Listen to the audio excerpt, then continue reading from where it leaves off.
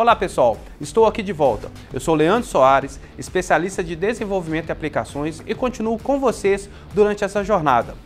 Vamos para o que interessa?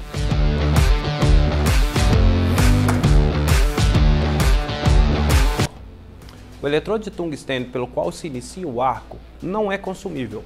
Possui um alto ponto de fusão, cerca de 3.410 graus Celsius, que proporciona diferentes modos de emissão de elétrons, conhecido como emissão termoiônica. São diferenciados pela cor da ponta. Cada cor identifica os elementos ou compostos metálicos adicionados ao tungstênio, proporcionando novas características. A escolha do tipo de eletrodo a ser utilizado é então um parâmetro relevante que depende do material a ser soldado, do tipo de corrente de soldagem, ou seja, corrente contínua, corrente alternada, e das condições de trabalho. O perfil do cordão, ignição e estabilidade do arco são fatores que podem ser influenciados pelo tipo de eletrodo de tungstênio. Os eletrodos são designados pelas letras EW, indicando que se trata de um elemento de tungstênio, em seguida, temos os símbolos do elemento que compõe o eletrodo, como por exemplo, tório, lantânio, zircônio e etc. E o número indicado do percentual aproximado desse elemento. Os eletrodos puros de tungstênio de ponta verde são de baixo custo e contêm no mínimo 99,5% de tungstênio. Oferece uma boa estabilidade de arco se utilizado com corrente alternada, além de manter a ponta do eletrodo limpa, com formato arredondado. Possui uma menor penetração, quando comparado ao eletrodo de tungstênio contório, o de ponta vermelha. E isso se dá por suas características, as quais aumentam a qualidade da emissão de elétrons no arco. Outra característica desse tipo de eletrodo é a sua capacidade de operar muito abaixo da sua temperatura de fusão, o que significa baixo desgaste e baixo risco de contaminação. O eletrodo de tungstênio puro é utilizado para a soldagem de diversos materiais, como aço carbono, aço inoxidável, alumínio, liga de magnésio, entre outros. Os eletrodos de tório podem induzir maior corrente sem fundir parcialmente a sua ponta, como pode ocorrer com os elementos de tungstênio puro. Oferecem uma maior estabilidade do arco. São aplicados para soldagem de aço carbono, aço inoxidável, liga de níquel e titânio. Tendem a apresentar um menor desgaste também, com a adição de tório, o eletrodo inicia a emissão de elétrons em uma temperatura mais baixa. Este tipo de eletrodo possui a limitação devido ao tório, elemento que pode ser potencialmente perigoso para a saúde dos soldadores. Sua soldagem é feita somente em corrente contínua. Os eletrodos de lantânio são aplicados tanto para a solda em corrente contínua quanto em corrente alternada. O elemento não é radioativo e gera um arco bem estável usado para soldagem de aço carbono, aço inoxidável, ligas de níquel e titânio. Podem ser utilizados também na soldagem de alumínio e ligas de magnésio. Quanto maior o percentual de lantânio, melhor a manutenção da ponta do eletrodo. A corrente de soldagem é regulada com base no tipo e diâmetro do eletrodo de tungstênio.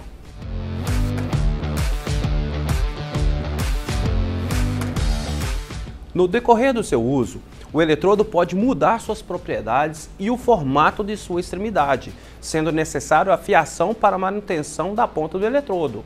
A fiação dos eletrodos não consumíveis é essencial para melhorar os resultados da soldagem. Portanto, alguns pontos essenciais devem ser observados. Nunca afie ou tente lixar o eletrodo de tungstênio à mão livre. Para um bom resultado de soldagem, a ponta deve ser concêntrica e a superfície de afiação lisa. A direção da afiação é decisiva, tanto para a manutenção do eletrodo como também para o processo de soldagem TIG. Se for transversal, ou seja, radial em torno do eletrodo, um amplo arco cônico é gerado. A profundidade de penetração é então menor e pode causar um aquecimento excessivo da extremidade do eletrodo, permitindo a segregação de partículas de tungstênio diretamente para a peça, o que não é desejável. Por outro lado, se a fiação for longitudinal ao eletrodo, ou seja, axialmente, o arco é mais focado, permitindo uma penetração mais profunda, não aquece tanto o eletrodo, protegendo ele. Além da correta direção de afiação, o ângulo da afiação da ponta do eletrodo também pode influenciar as características de soldagem e preservação do eletrodo. São basicamente três tipos de afiação. A ponta afiada é normalmente utilizada para soldagem em corrente contínua. Não é recomendado para soldagem em corrente alternada. A ponta truncada nada mais é que a ponta afiada com quebra ou remoção da ponta. Deve ser preferencialmente afiada para soldagem em corrente alternada. Haverá uma pequena fusão da ponta, mas a gota formada não pinga. A ponta abaulada deve ser preferida para soldagem com eletrodo puro em corrente alternada. Também formará uma gota na ponta do eletrodo. Importante se atentar para o tamanho da gota, que não deve exceder muito o diâmetro do eletrodo, para não comprometer a estabilidade do arco ou a gota se destacar e contaminar a peça. Uma ponta mais afiada pode resultar em um arco menos concentrado, menor penetração, ideal para passes de raiz. Já uma afiação mais grossa, obtusa, o arco resultante será mais concentrado, maior penetração obtida, sendo ideal para o enchimento.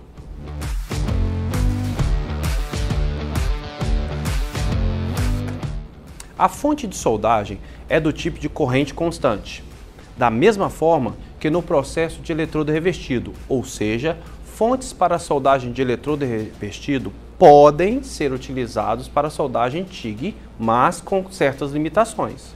As funções especiais para soldagem TIG, essenciais para um bom controle neste processo, que serão apresentados posteriormente, estão presentes nos equipamentos mais sofisticados. O usuário definirá o nível desejado de corrente e o equipamento irá trabalhar para manter essa corrente constante, uniforme e realizando ajustes na tensão de acordo com o comprimento do arco. Existem três formas distintas de ignição no processo TIG. Vamos apresentá-las e discutir suas aplicações e consequências do uso de cada uma dessas três formas de abertura de arco, que podem ou não beneficiar a operação. Stretch ou arraste. O primeiro modo é abrindo o arco, arrastando o eletrodo contra a peça, também conhecido como stretch. É o modo de abertura utilizado para equipamentos de soldagem que não possuem a característica ideal para o processo TIG. A desvantagem deste modo de abertura seria o risco de contaminação da peça por inclusões de tungstênio, além de um desgaste mais rápido do eletrodo. O arco gerado é muito instável, dificultando o controle pelo soldador. O segundo modo é mais conhecido como lift arc. É o modo de abertura mais utilizado. A função deve estar incorporada no equipamento de modo automático. Tenha certeza de que a função esteja mencionada no manual de instruções do equipamento. Para esse tipo de abertura, o soldador deve encostar o eletrodo na peça de trabalho, pressionar o interruptor, inclinar a tocha e então o arco se iniciará.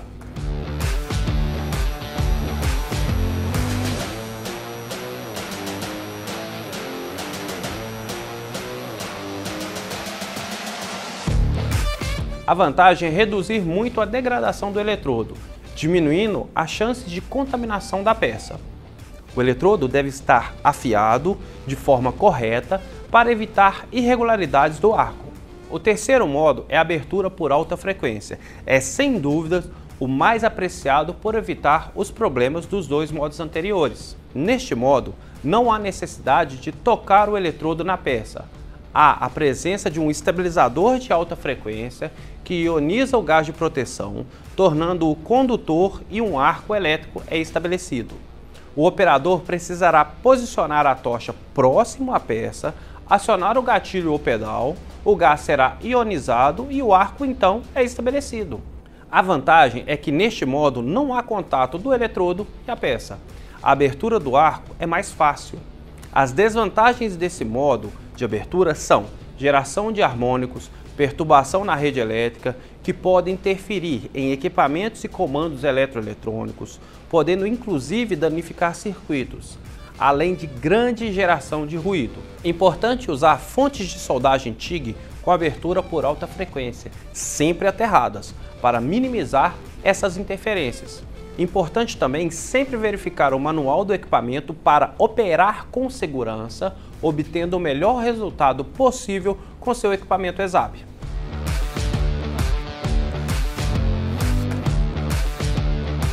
As funções principais da tocha de soldagem são de conduzir o gás de proteção e suportar o eletrodo de tungstênio. São refrigeradas para garantir a integridade do eletrodo, elemento importante para o processo. Essa refrigeração pode ser seca, pelo próprio gás de proteção, ou úmida, dependendo da corrente utilizada. A tocha refrigerada à água é aplicada para trabalhos com correntes mais elevadas. O efeito da passagem de corrente pela tocha pode aquecê-la muito, sendo necessário um mecanismo de resfriamento mais eficaz.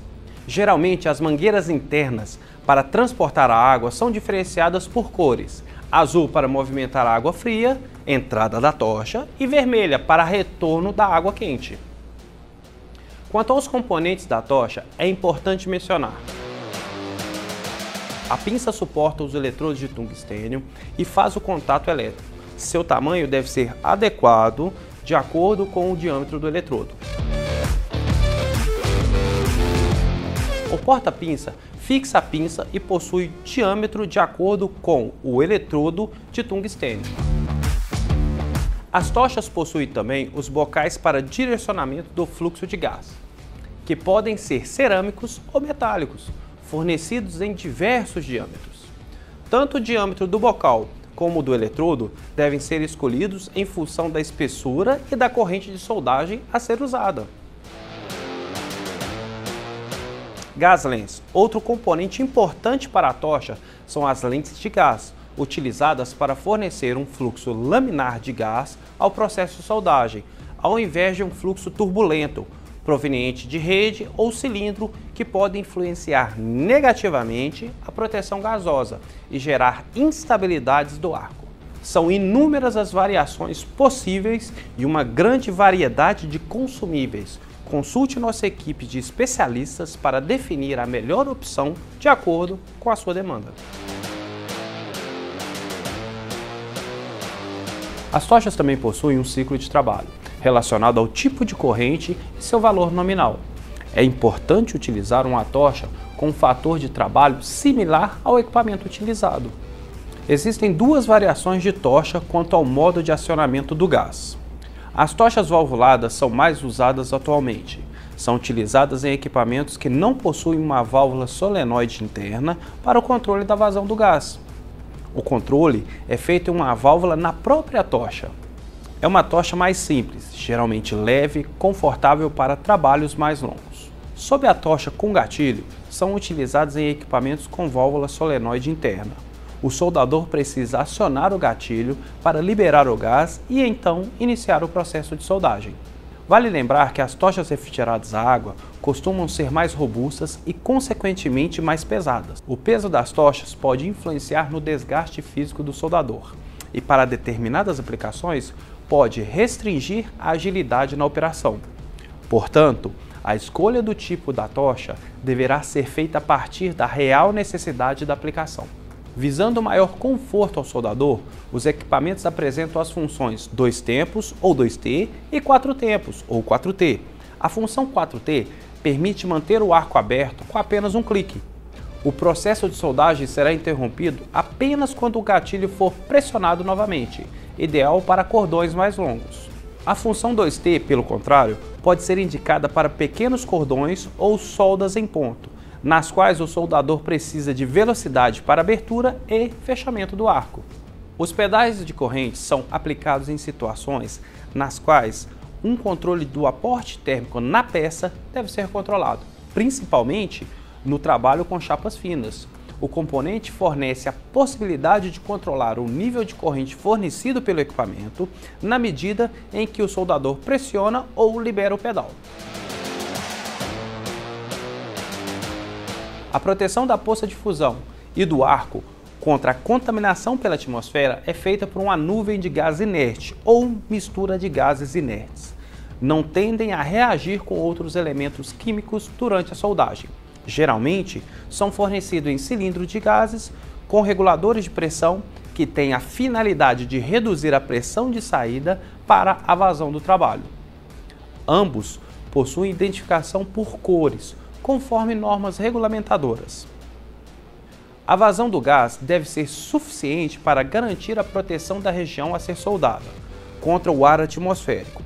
Vazão excessiva aumenta os custos do processo e pode gerar uma perda da proteção devido a instabilidades.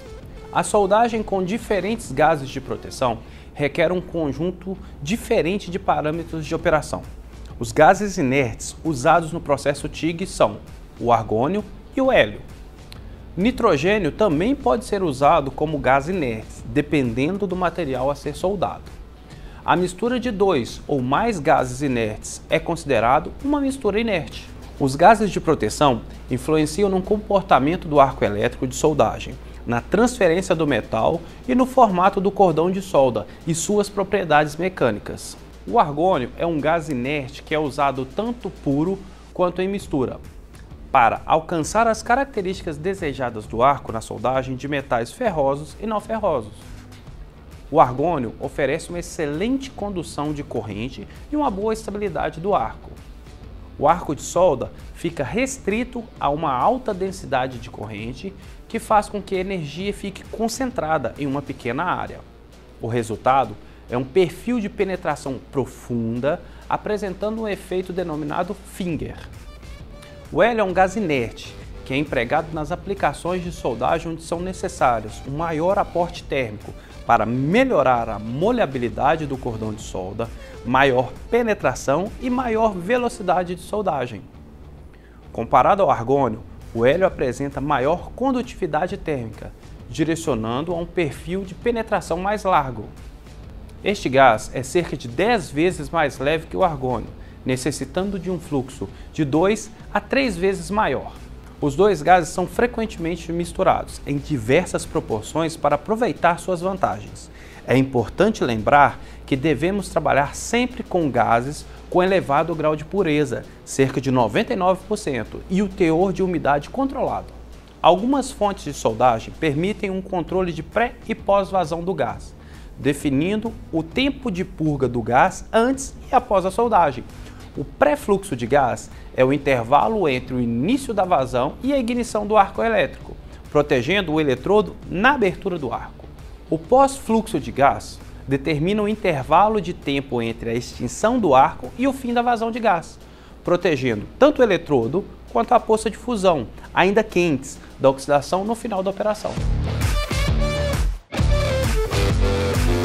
Como já foi comentado, a proteção gasosa exerce um papel essencial no processo de soldagem TIG, prevenindo o contato direto da junta com o ar atmosférico, causando diversos defeitos na solda dos materiais. Em altas temperaturas, materiais como alumínio, aços inoxidáveis, entre outros, tornam-se muito reativos com o oxigênio presente na atmosfera. A proteção gasosa feita por meio da tocha pode não ser suficiente dependendo da geometria da peça, como por exemplo, soldagem em tubulações. Nestes casos, uma proteção ao lado oposto da junta é necessária. Este processo recebe o nome de purga de gás. Purgar consiste em uma ação de purificar ou eliminar impurezas. No processo de soldagem, a purga tem como função eliminar o ar atmosférico da região posterior à junta, evitando que o metal em altas temperaturas entre em contato com oxigênio. A norma AWS D10.4 aborda exatamente essa recomendação e ainda cita que o gás de purga pode influenciar na tensão superficial, na poça de fusão, melhoria nas características visuais da superfície da junta e redução no aparecimento de defeitos de soldagem, como por exemplo, trincas. Existem outras maneiras de lidar com superfícies oxidadas, como o esmerilhamento, escovação ou jateamento do cordão, no entanto, estes mecanismos apresentam certas desvantagens e, para o trabalho com tubulações, podem se tornar impraticáveis devido à geometria. Portanto, a utilização de um gás inerte para a purga interna de tubulações torna-se necessária. Para obter uma atmosfera controlada com o gás inerte, é utilizado um sistema de purga através de um dispositivo ou a própria peça, de modo que se forme uma câmara de gás em torno da área a ser soldada. Este dispositivo deve ser centralizado e possui apenas uma entrada e uma saída de gás. Alguns cuidados são necessários durante o processo de purga, a fim de evitar a formação de óxidos. O gás de purga deve ser mantido por um tempo prévio e posterior à soldagem. Este procedimento se torna necessário enquanto a temperatura da junta esteja inferior a 320 graus Celsius. A continuidade do fluxo de gás de purga durante a soldagem deve ser garantida. A vazão deste gás deve ser controlada, sendo suficiente para empurrar o ar atmosférico para fora da região a ser soldada. Uma vazão muito elevada, no entanto, pode ocasionar um fluxo de gás turbulento, interferindo na qualidade da solda. Os gases de purga mais utilizados são os gases inertes, argônio, hélio e o gás nitrogênio. Encerramos aqui mais um vídeo do treinamento do processo de soldagem TIG. Espero vocês no próximo tópico. Até lá!